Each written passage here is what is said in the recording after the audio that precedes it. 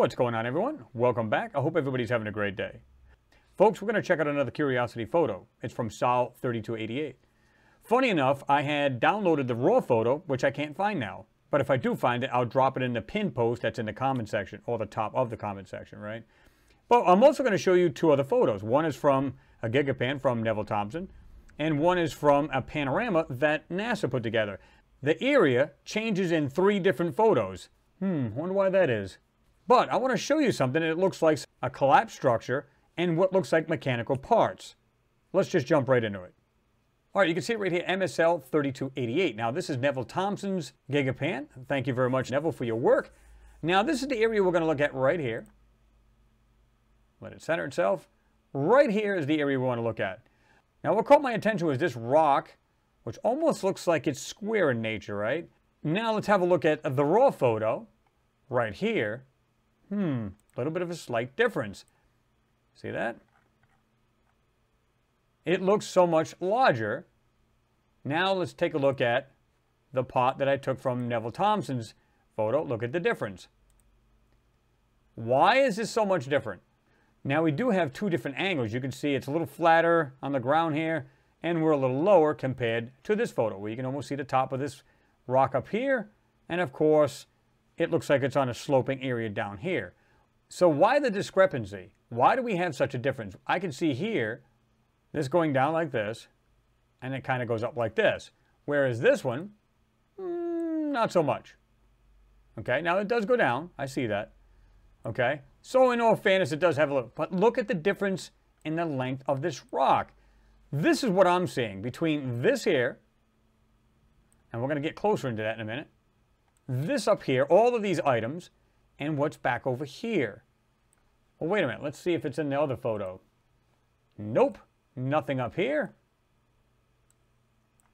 And of course, we cut it off over here so you cannot see that. However, that's okay. But again, the discrepancy, why is this so much shorter and you have like a thinner line of rock coming down as opposed to this one here? Now, let's have a look at the other photo from NASA. Here it is right here. Now, of course, they are sectioned and stitched, but look at, look at this now. Again, why is there a discrepancy on everything the way this thing looks? Don't see much of a slope in between this area and there. Don't see much of that at all. You can see something here square in the background. See this right here? Right here, right in the center of the screen. Looks like it's on a bigger block. Just look around, folks. There's plenty enough to see. But funny enough, the landscape changes from photo to photo to photo. Why? It's almost like there's multiple people working on these things, and then they just can't get it right on what they want to let be seen and what not. Okay, just to give you an idea, we're pretty much done with this photo. Back into Photoshop, you can see right here, this is what I'm seeing, and we're going to jump right into that. Okay, when you look at this area right here, this thing looks like it crumbled. You could see, like if this was, like I said, looking like this. This was on the top where this yellow line is. Notice the width of it from here to here. Hmm. Let's look at this block. Let's assume, now this I don't know this for sure, but let's assume this is all just fill in between there. It's built over a course of time. Maybe it come off the top of this rock up here, and it's just kind of filled in over a course of time. The reason why I say that is if you look here, you can see lines doing this, okay?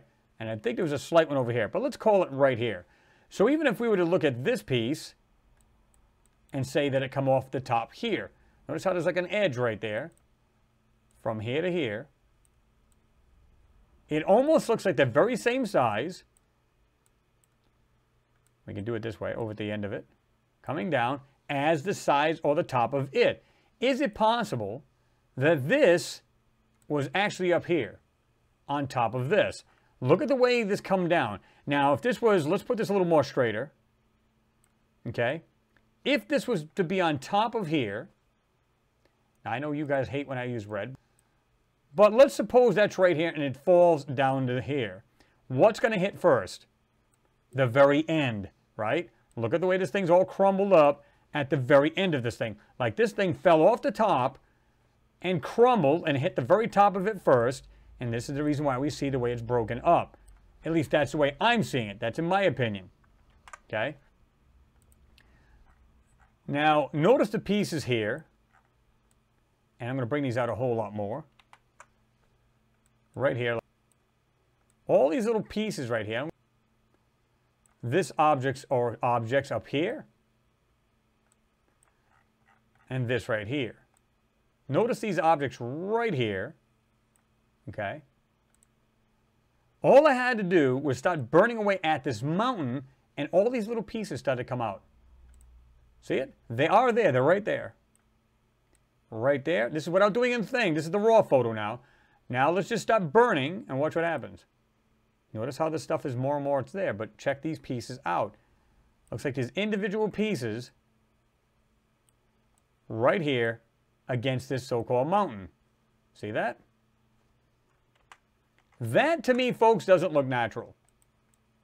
Especially this item here, doing this. You can just see it's on the side of this other item here, where it looks like some kind of white piece doing this, coming down. Okay? Whatever that is, that doesn't look normal. We get something that looks like this here. Comes down, goes down to the bottom here. Something completely straight, darker pieces of it. looks like there's pieces standing up on here. See that? Folks, I don't believe that that's natural. I don't believe that for a moment. And again, this to me looks like it came from up here.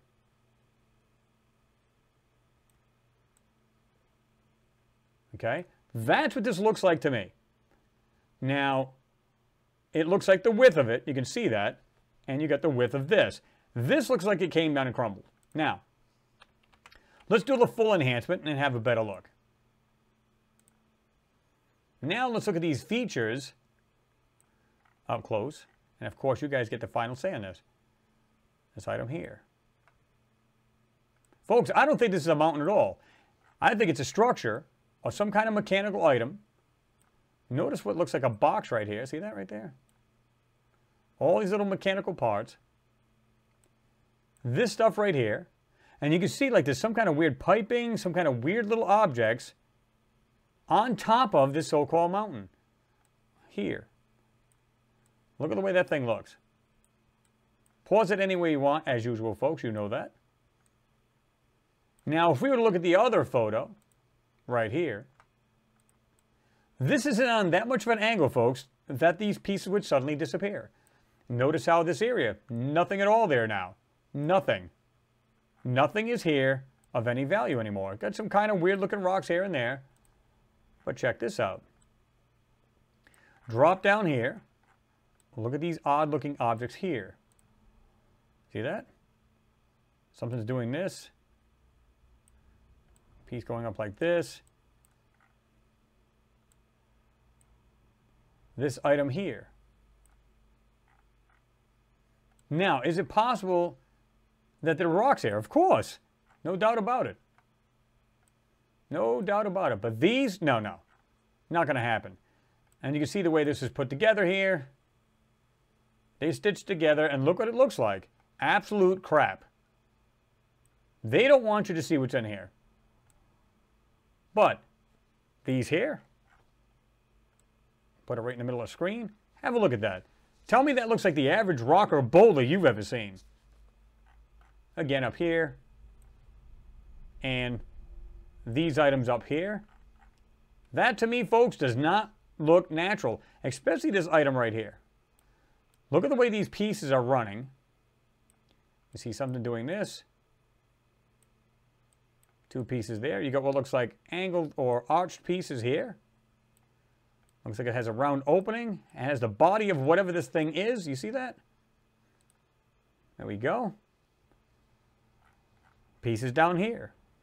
Is that in the regular photo? Absolutely, it's right there. This piece here again.